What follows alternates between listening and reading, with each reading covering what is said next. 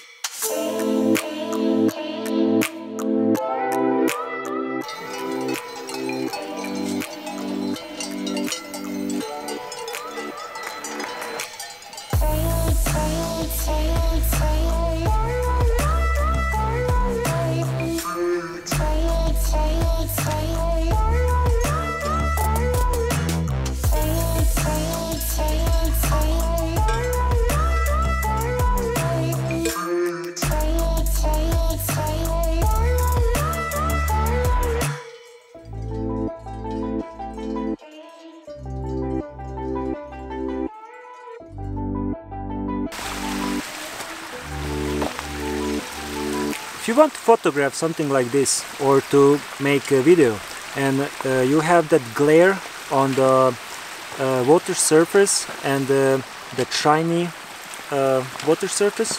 Just use this polarizer. It's a polarizing filter and it's gonna make your shot uh, it's gonna erase that glare and uh, it's gonna make your shot 100 times better. Check this trick out Now it's very shiny.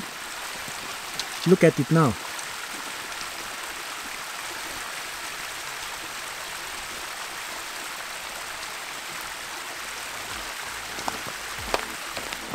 Much better.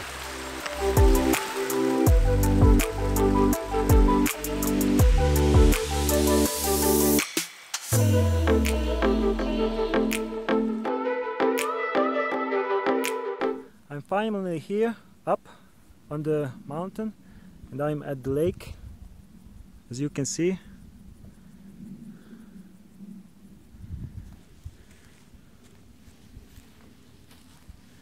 This camera has the same sensor like uh, the 70D uh, it's a APS-C sensor and uh, luckily I have this uh, 50 to uh, 45 millimeter lens on it and I can um, make a number of shots I don't know maybe seven or eight and stick them together in a Lightroom I'm gonna show you after uh, how do, how do I do that in the program.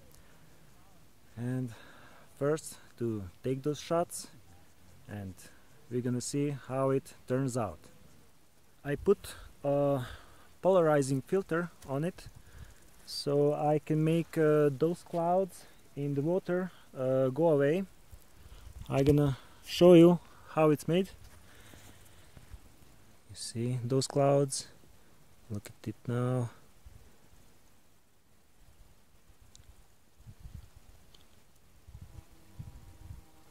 And they are gone almost. So I put ISO uh, 100 f11 and uh, 1 16th of a second. 10 second uh, timer because it's not a steady type tripod so I need a little more time to get stable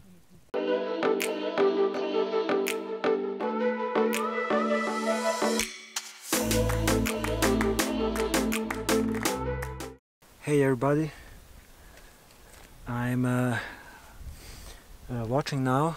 There are uh, one, two, three, four, five, six, six uh, chamois. I don't uh, know how to pronounce. Those are those uh, wild goats, goat slash antelopes, and I want to go down and to take some video with my Tamron and to take some shots. And and uh, last time when I was here uh, I saw that uh, uh those uh, alpine uh, marmots are also there. The colony lives there. I came here to make some marmot shots but these goats are also very good so I'm giving a chance and I'm going down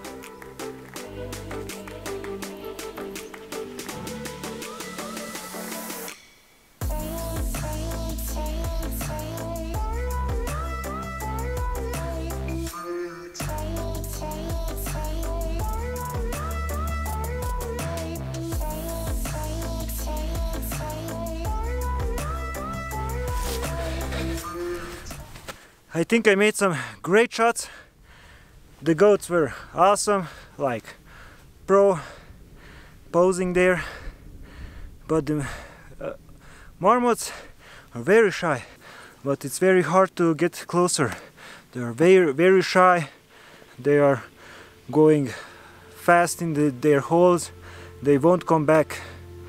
These chamois are awesome. They are big animals. You can feel your sensor with the animal so you can make a big picture. Yeah I think I made some great shots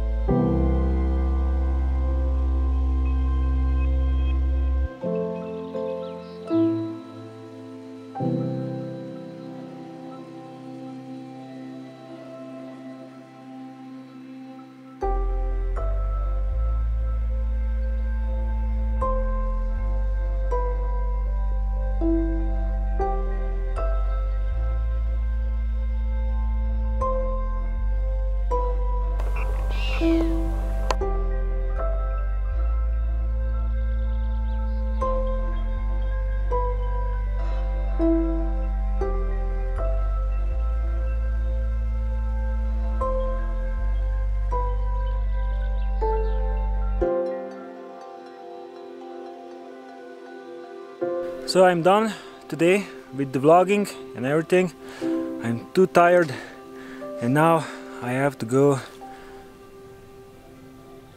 here somewhere where this little village is.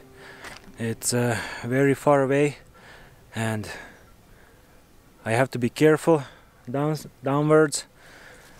There are lots of uh, big rocks and uh, mud and it's uh, a little bit uh, how do you say wet down there and yeah slippery all the way down so that was all for today here at this mountain and we are going now to the PC to show you how I stitch my photos together in uh, Adobe Lightroom.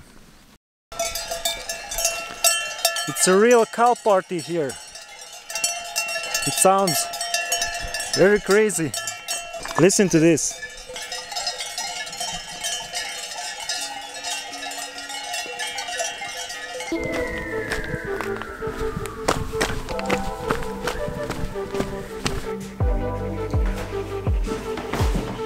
So I'm back at my desk and uh, I want to show you how I stitch uh, these photos together in Adobe Lightroom. So we have here we imported nine photos. One two three four five six seven eight nine. Yeah. We have here nine photos and uh, we need to stitch them together. Uh, first I'm gonna stitch them together by clicking on the first and then holding shift down and then clicking on the last. I selected all the all these photos and you have here in the photos menu photos merge and go to panorama. It's gonna literally do the whole job by itself. And you see the photo is stitched together. I choose auto crop but if you want to crop by yourself do it as you wish. So now it's putting it together. So when the Lightroom is done we have a photo like this. So we have peoples in these in these photos. You see here is a man. And what we're gonna do? We are going to develop and to erase all the people from the picture. By choosing this uh, cloning brush like this back here you can choose what do you want to see in that part? You see it's better better than to have a part of that uh, uh, dark green grass. It's better to have a similar grass. This equipment is also gone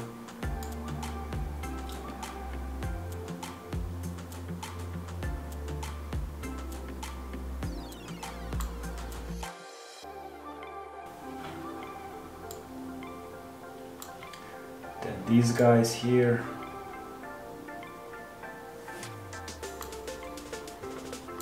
Schrecksee is a very popular place. You see people are swimming here.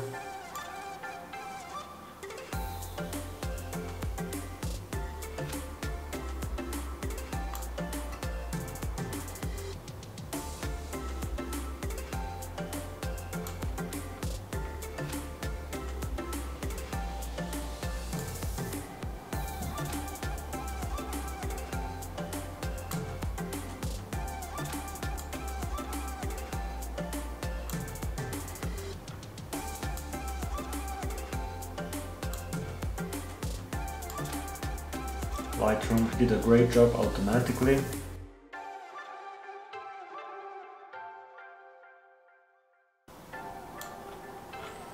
If I see some errors like uh, this little yellow spot here above, then I'm just fixing that little spot.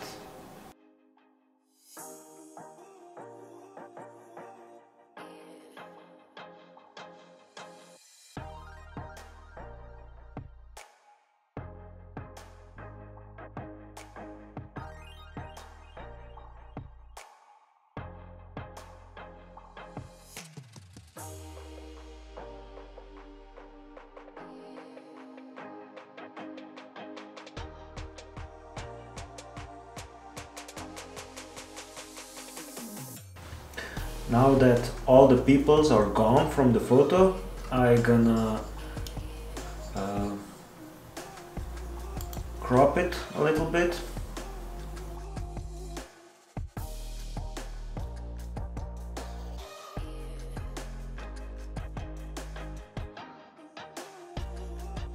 I want these mountains to have a little more space to breathe so that's why I'm raising the photo high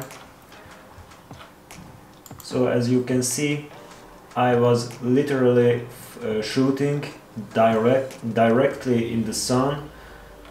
And uh, that's why I have a blown out sky here. But uh, when I was uh, photographing in the camera I was underexposing my photo.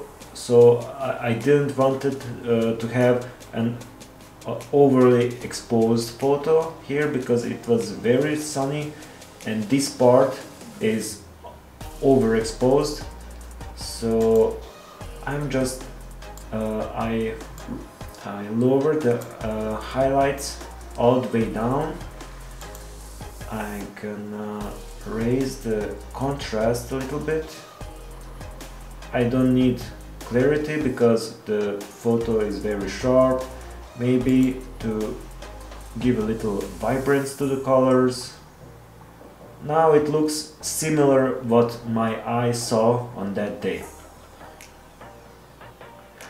So that was all. It looks very nice and it's a little tip I wanted to show how you can erase the people out of your photos and uh, to make it uh, more natural uh, when it's uh, maybe a very uh, popular place for tourists and there are 30 tourists swimming or uh, sunbathing uh, in the field then it look it don't looks so nice and you can very easily erase them and stitch the photos together to make a beautiful panoramic photo. So that was all. If you liked it like it. If you disliked it dislike it. Uh, if you like this content subscribe and see you in the next video. Bye